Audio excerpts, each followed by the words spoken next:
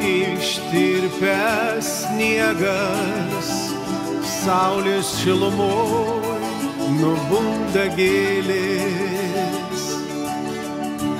Jaučiu, kaip plaka širdis karšta, ją glosto vėjas.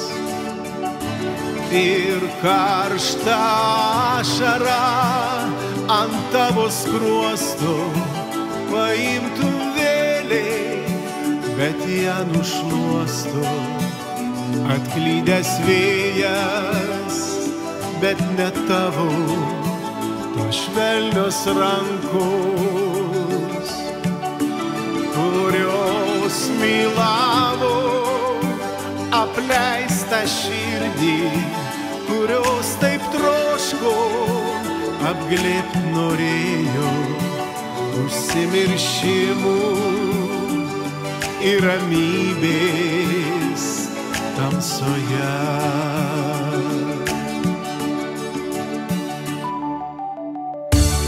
Ištirpęs sniegas nuteka šlaitais žiemos apleistais. Menu tą žiemą, kai palikai mane skausme giliausiam.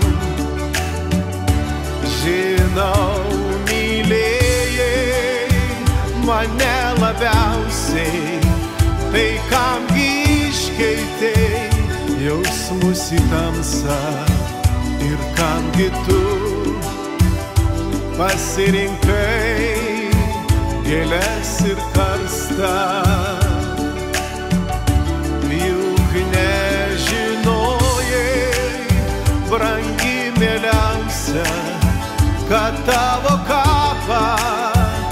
Puoš lapų auksas ir baltos astros žiedelis savo apklostame.